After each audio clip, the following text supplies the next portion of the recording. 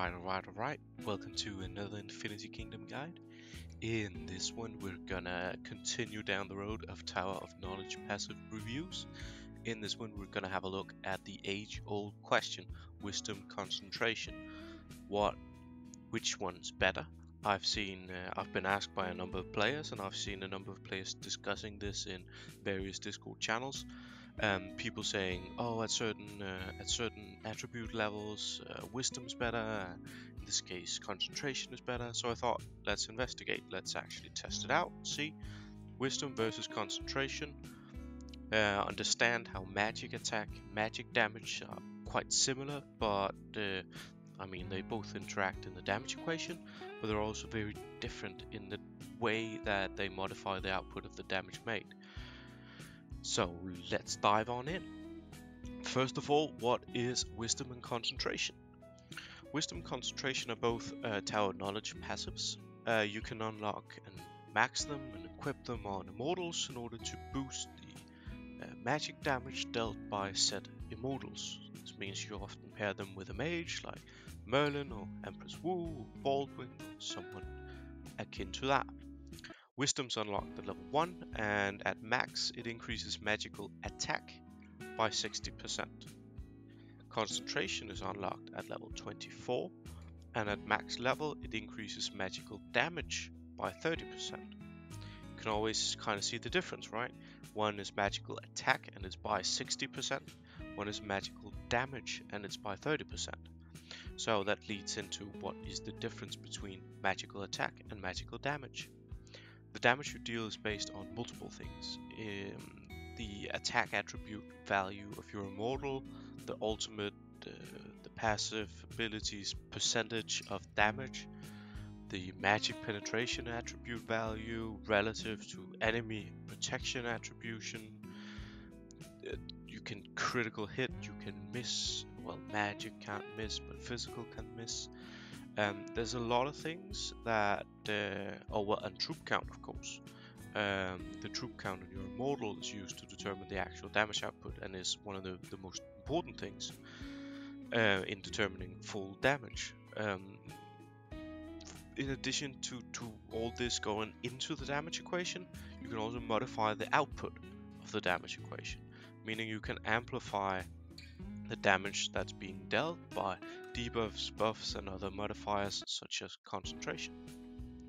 In addition to, to this, uh, your attacks have a chance to critical hit, uh, further boosting the damage by I'm getting on average around 170%, but it also it also depends on the enemy resilience. Um, at this point, it, it's probably getting a bit confusing for some people, and it's important for me to mention that the precise damage equation of Infinity Kingdom remains a closely guarded secret, and one that, while I have been working with a couple guys getting getting kind of close to discovering what what the actual damage equation is, there are still stats interactions that uh, that we cannot fully explain, and as such. Um, uh, the actual damage equation does remain a mystery. We can't really uh, just toss everything into a simulator and figure out which one's better. Instead, we need to uh, to test things out. We can't calculate it. Um, we have to actually test it. So I did a few tests um, to see which one's better, wisdom or concentration, uh, under different circumstances. I paired up an Empress Wu with uh, a Charles in the training grounds, and we did a couple tests. So training grounds is a good place to test because there are minimal interference from troop counts on our data. You know, Charles doesn't deal a lot of damage.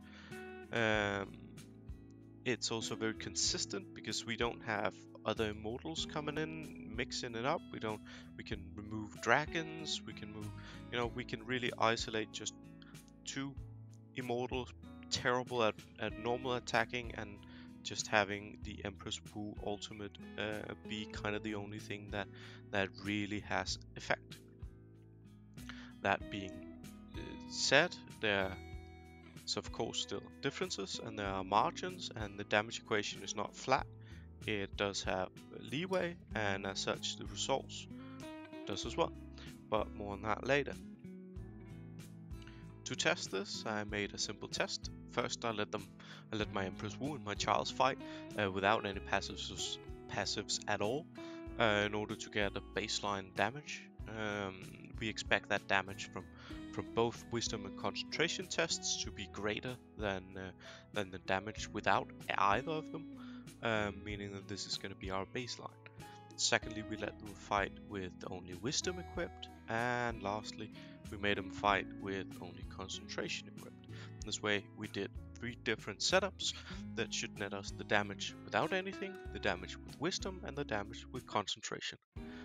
I did the fights 5-10 times for each, and this led, leads us to the results. The outcome of these fights shows uh, which is best in a controlled environment. You know, this is given level 50 models with max equipment, tier 7 troops, all the limitations of technology alliance buffs, uh, cities, etc. that we do have in training grounds. You know, these are the limitations we have to testing, but later we're gonna try and mix it up and see should this work outside as well. For now, these are the limitations and the results are that a baseline damage without any passives on was around an average of 128,000 damage on per Imperial Fire. We are excluding critical hits and the damage on Wisdom was slightly higher. It was a decent amount higher, 580k average damage. On Concentration, our last one, we ran an average of 723,000 damage on Imperial Fire, significantly more than both uh, our default baseline and our Wisdom. As such, we can see that the damage amplification of, uh, of Concentration's magic damage boost is uh, quite a lot stronger than the uh, magic attack buff offered by Wisdom. So wisdom I mean wisdom does boost the damage. We get what a, a 52,000 average. That's around 10% damage boost from running pass um, the passive wisdom which in its own right is decent but it's nowhere near the damage output that concentration gives us. This leads into further speculations. Um, I included this because I've seen that a lot of people are claiming that with high enough magical attack attributes, um, you know, when the value of your magical attack becomes high enough, then wisdom supposedly should be superior to concentration. So I thought I'd put this to the test as well, so to break the limitations as well and kind of see, okay, what happens if we scale around on the values. If we let's I mean let's say we at some point in the future are going to be able to increase our base value by twice as much as we have now would wisdom actually overtake um, concentration in its damage value? Uh, in order to, to test this we need to test out how does magical attack affect the damage the output damage. Is it uh, even close to being scalable in this manner I tested this by removing the equipment on my Empress Wu. Her attack wand and her offhander um, are both level 50 Fire Elemental Season 2 Epic Plus quality, which uh, with them on nets her a magical attack of 2.4k without the magic wand, wand and without the, the offhander uh, her magical attack drops to only 1045, uh, so 1k.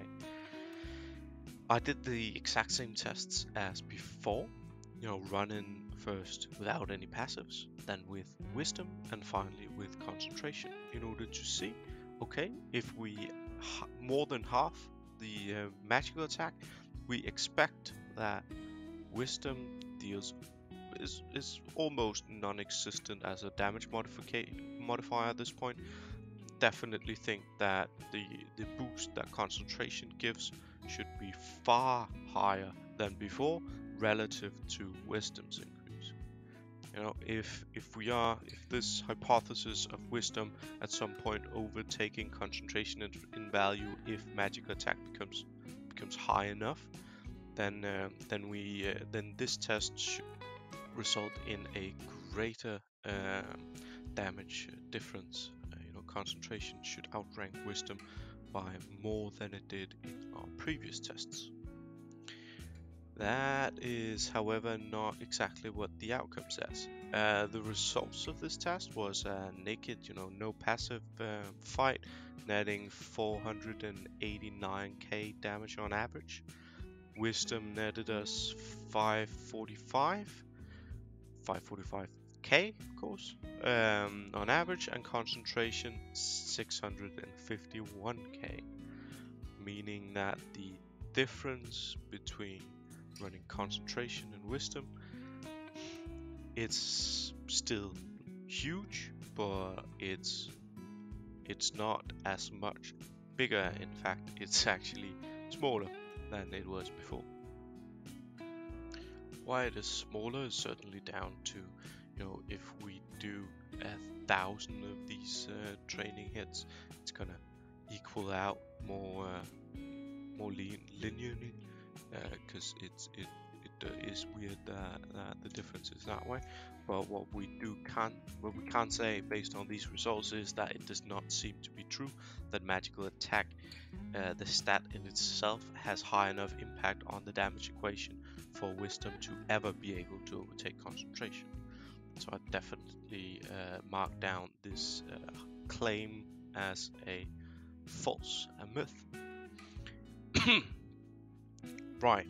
So how precisely the uh, the wisdom uh, wisdom interacts with the damage equation is still a mystery, but seen as we can't really uh seem to force any significant uh, differentiation by reducing and increasing the, the magical attack stat, um, it's safe to say that for any player at any level, concentration will always be superior to wisdom.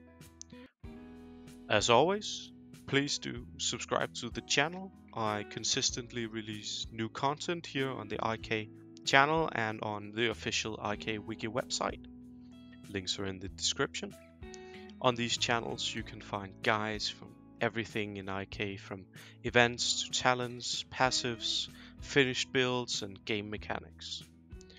With that, I'm gonna leave you and as always, thank you for watching and see you for the next one.